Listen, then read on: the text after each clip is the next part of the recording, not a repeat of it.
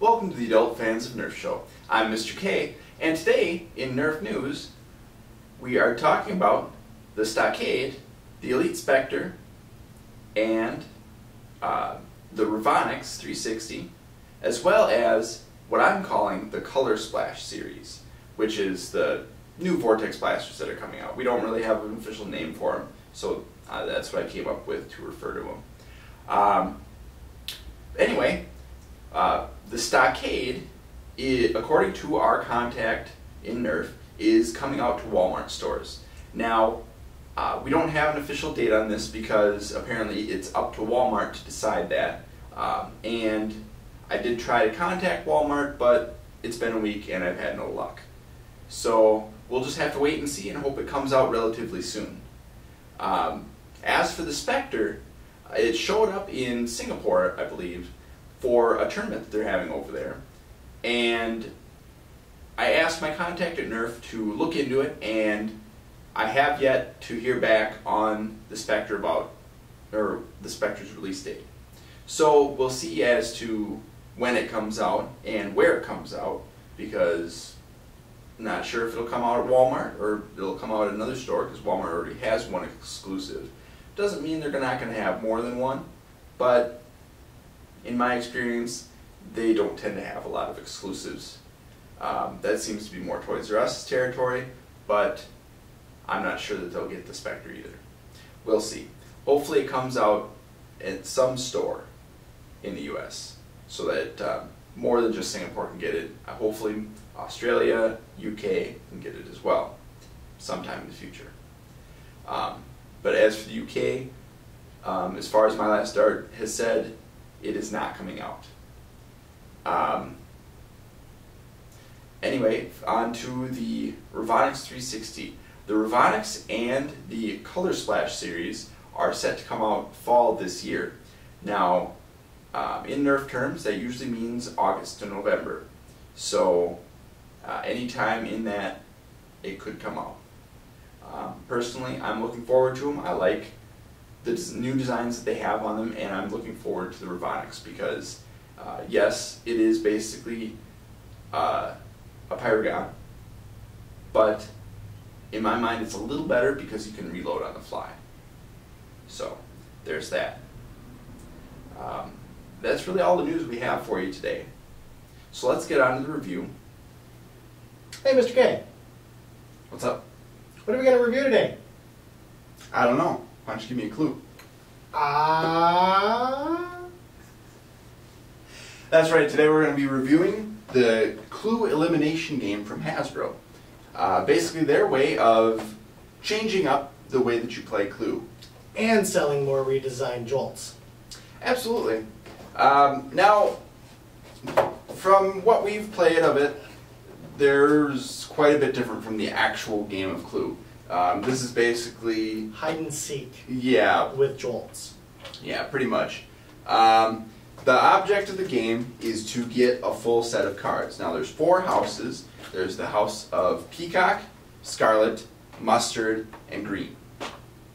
And basically, what you're doing is it, it, it's intended to play with. It says two to four players, but really you want three or four players because uh, if you play with two, it's really going to be one and done. You're that kind of that comes from the nature of the game. So the the game is kind of an assassination game. You go around. Everybody has cards that have their house logo and stuff on them. You can write the person's name on the card. Um, I'm not exactly sure how you would be able to erase said person. It, it says pencil, but you're probably not going to be able to write on those cards very easily with pencil. Well, you'd, you'd make indents, which would make the name. Anyway. So everybody has their card, cards, uh, and then when you take somebody out, if you're the shooter, you receive one of that person's cards. If they don't have one of their own, you take one of theirs at random, and you go until, like, if, if you have no cards left, you are out of the game. So if you're playing with one person and they have one card, you have one card, you take that person out, then the game's over and you get to play again. Yep, because you have a full set of cards then. Yep. So it's it it's kind of pointless to play with two people, but um, you can do it. Yeah. Um, Yeah, so basically, the uh, you uh, decide what you're gonna, which house you're gonna play as. Uh, you pick your blaster, your, you take your darts, and you take your cards for that particular house.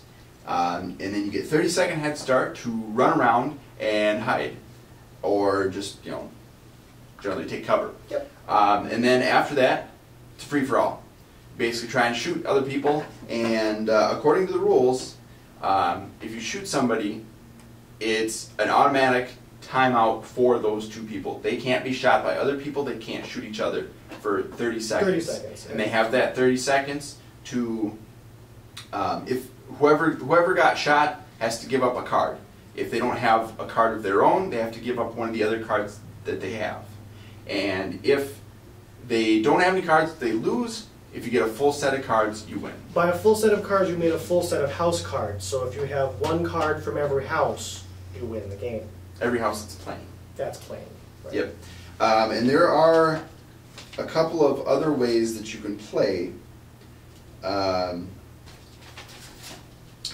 the advanced play option is that you have there's extra cards in there called location cards, Yeah, and basically actually- you try to eliminate someone in that area, So there's ones Um, like there's ones like and you get like extra points. eliminate target here, the bedroom, the backyard, garage, kitchen, hallway, inside. Then there's a two that you can write your own on. Yep. And uh, there's also uh, one called Mega Elimination. And basically, um, each of you take an ID card and write your name on it. Doesn't matter what house it is. Um, this is for a lot of people, more than what this set has for blasters. Basically, you all want to get blasters. Um, I would advise taking a single shot blaster like um, the Jolt. Um, maybe a Triad would work. Uh, Fire Strike, Reflex would work. Um, and you shuffle the, I, uh, the ID cards together, deal one to everyone at random, and then uh, that card is your target. And then if you manage to track that player down and shoot them, they are eliminated and you get their target card. So then that the card that they have is your new It's target. your target. And then um, if you get yourself as the card, you're automatically eliminated. So yeah, it's a, it's a pretty simple game.